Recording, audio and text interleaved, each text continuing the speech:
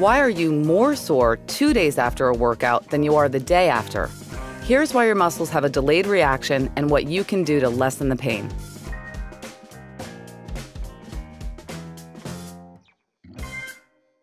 This confusing occurrence is called DOMS, delayed onset muscle soreness.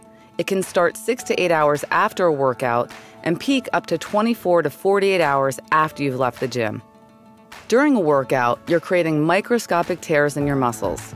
As your body repairs this damage, your muscles get stronger. DOMS kicks in when you start a new workout or increase the intensity of the current workout you're doing. You can alleviate DOMS after a workout by taking a painkiller containing acetaminophen, such as Tylenol. But don't take aspirin or ibuprofen because they will actually halt the repair process. Foam rolling will increase blood flow to the area to help heal muscles faster, and foods high in omega 3s, think salmon, spinach, and nuts, can help boost circulation and reduce the inflammation that's causing the pain. And of course, you should always take time to properly warm up before and cool down after a workout.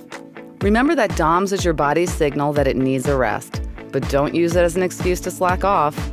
If you're sore, work a different muscle group or work the sore body parts with a lighter workout because by doing so, you'll bring more blood flow to the area, which can help in the healing process. If you've really overdone it and are having a hard time with basic movements such as climbing stairs, take a few days off. Have a medical mystery you want our health detectives to tackle? Send them to askhealthdetective at yahoo.com.